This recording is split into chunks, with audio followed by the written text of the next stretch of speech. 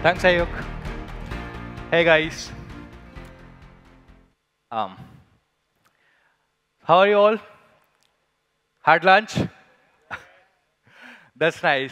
So, um,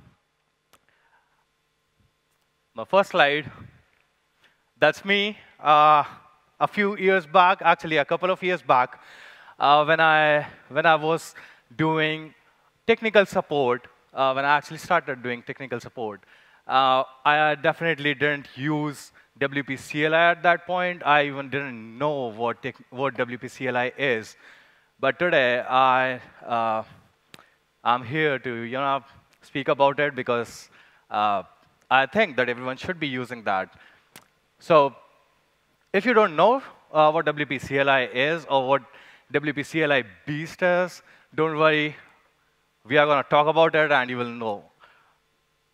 Um, before we know about it, uh, I would like to introduce myself. My name is Aditya Shah, and I'm a software engineer. Uh, I currently manage the hosting support team at WPMU Dev. Uh, we make plugins for WordPress as well as hosting. Um, I'm also the founder, or you can say the meetup organizer for WordPress Bhopal community. And uh, I'm working with WordPress for more than 10 years now. Um, that's all about me. So we can just proceed with WP CLI because like we have got a limited time, right? So some questions like what WP CLI is, um, why WP CLI, who this is for, like who can use it, and what would you need to you know, use WP CLI. Um, let's start then. So what is WP CLI? It's a command line tool to, uh, to you know, use WordPress by utilizing the command line or the terminal uh, that you have in your laptop or your computers, uh, right? For example, um, for example, like you want to bulk update a lot of posts, so you can just uh, write a simple command, and you can update all of the posts or you want to install plugins, you can just write a single command, and the plugin will be installed for you. So we'll see what, how, why, and everything. So why WP CLI? First reason is when you want to migrate a site, you can make you, uh, good utilization of WP CLI.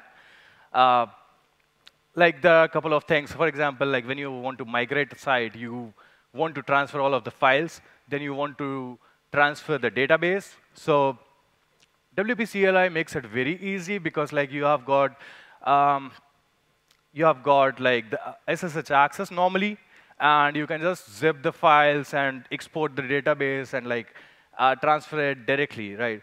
So when it comes to transferring files and database, you can like do it without WP CLI as well. But then uh, it's tough because you need to learn a lot of Linux things. For example, MySQL and then uh, different, different things, right? So when it comes to WP CLI, you can use a simple command like wpdb export, which will export the database for you.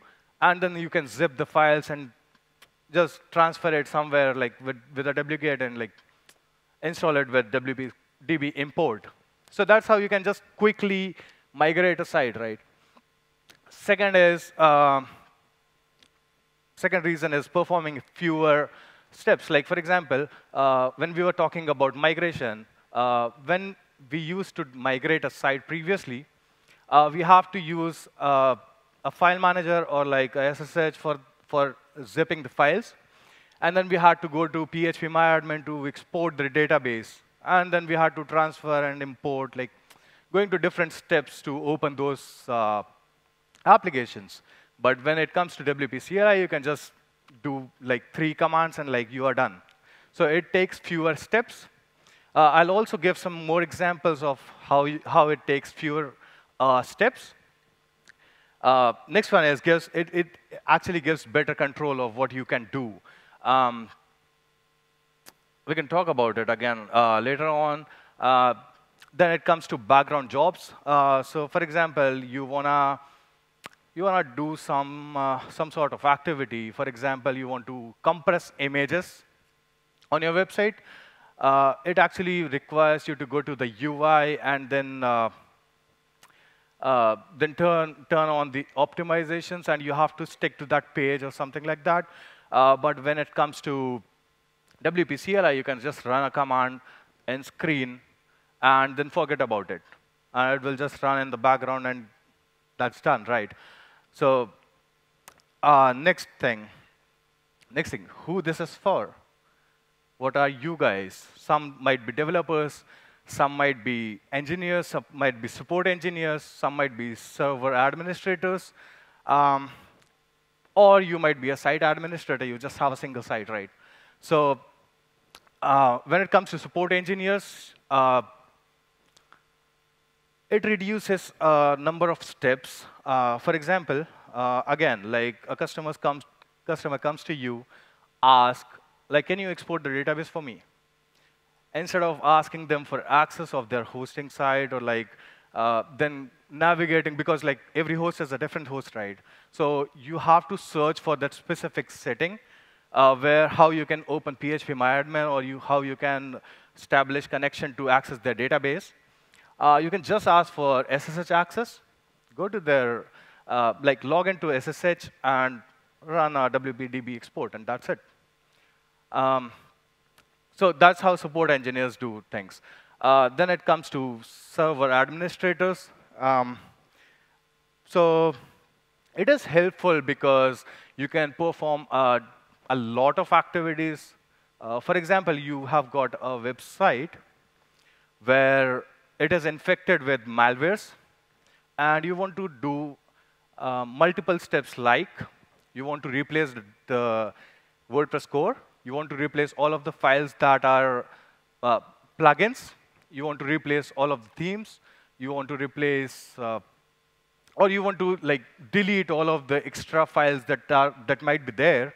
So what you can do is you can make a bash script, and you write all of the uh, all of the commands there in the bash script, and run that bash script. So it will do automatically, uh, or it will automatically do all of the things for you.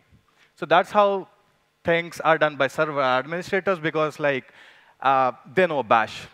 But like server site administrator or like normal people don't know that. So yeah, that's how the, uh, they can be benefited with, from it.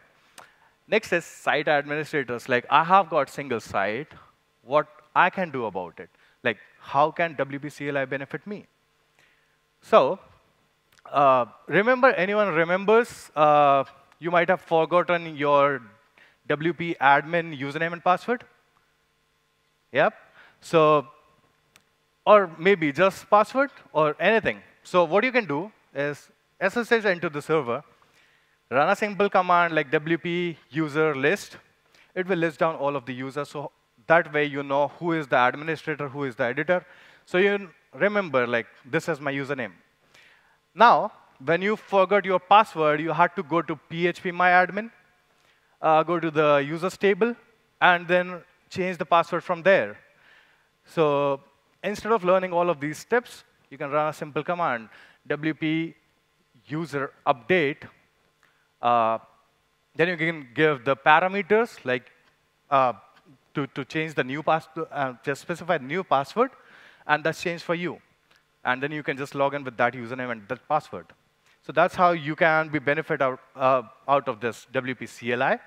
There are plenty of examples, but I don't think that we can really cover all of them here. So that's one. And I think that's that. no. Um, so let's get started. Like uh, when you say like you don't know or you want to start with WP CLI, um, you just have to install WP CLI on your uh, server or your computer when you want to use it.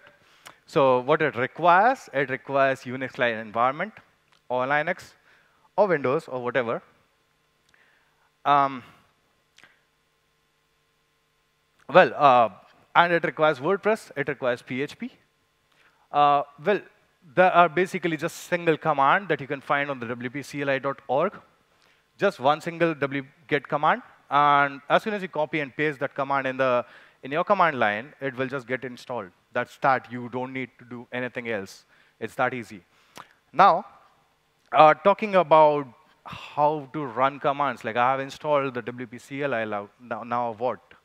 So every wpcli command starts with WP as the keyword. Then the command comes, for example, uh, I said WP user list. So WP is WP CLI. And then the command user is the command. Then there is subcommand. So I said WP user list. So I want to list all of the users. So command is user. And list is the subcommand. Now, this should be listing all of the uh, all of the users, right? But then I might want to specific specify some more parameters to it. For example, uh, I want to list down only the administrators. So what I'll do is WP user list hyphen hyphen uh, type equals to administrator. So similarly, like this is how the uh, the commands work. Next one. Uh, so like I was telling you about parameters, parameters, and values. So uh, parameters, uh, when it comes to commands, subcommands, and parameters, so parameters are required. Uh, then I said like hyphen hyphen thing. So when it, when it comes to uh, you want to know only the administrators or the editors, that is optional, like if you want to specify things or not. Then it comes to some parameters might require values. For example, if you want to, um, if you want to uh, change the password, then it, you might need to specify the password that I want this specific password. So that might be with value or without values. Um, now we were talking about WP Core, like you want to re-download WP Core, or you want to just download WP Core, so you can do it with WP Core download. Again, there are some more parameters to it, WP Core download, then you just want to skip all of the themes and plugins that comes with WP Core. So you can specify hyphen hyphen and skip hyphen content. So it will download just the WP Core without the themes and plugins. That's how the core commands work. Then it comes to database commands. Uh, those might be WPDB export, like I said, and you can specify the database, uh, like the export file name. Then similarly, we have the import command, WPDB import, and specify which file you have to import. So that's WPDB import and the file name. So it will just import all, the whole database. And then uh, there's, a, there's a tool called MySQL, right? So if you want to run any MySQL commands directly into the WP CLI, you can use WPDB CLI. It will open the MySQL console. And you can run the actual MySQL commands over there. Um, then there's a search and replace thing. Uh, so uh, ever encountered a uh, thing like you want to change your the domain of your site? So like, for example, my site was adityashah.com, and I want to change it to aditya.me. So what I'll do is I'll run a search and replace command. So WP, because WP, uh, search hyphen replace Okay. Uh, I'll just do it quickly. Can you give one moment? Uh, okay. So search replace is like uh, just specify the original URL and the and the destination URL like Aditya Shah and then aditya.me, and it will just do the search and replace for me. Uh, I guess we don't have time, so I'll just skip post media and create users for now.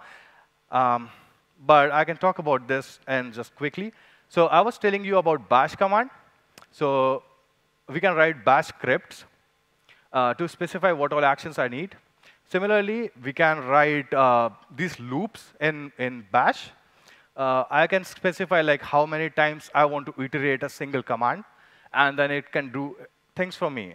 Like for example, if I if I uh, see if you see this one, it will specify the site list. For example, if you have multi multi-site, you can specify all of the multi-site uh, like subsites, for example, like I, I don't think that there's an example, but like if you have a multi-site and you have hundreds of sites, you can specify that uh, this for loop, and it will list down all of the subsite uh, URLs. And um, well, uh, the WP post list URL is this format count. So for example, I want to count all of the number of uh, subsites, so it can just count the number of subsites, and it will just give the number. Questions. I don't think we have time, but if you have any questions, I will be outside and we can talk about it. And let's connect. Um, I think, thank you. Ditya?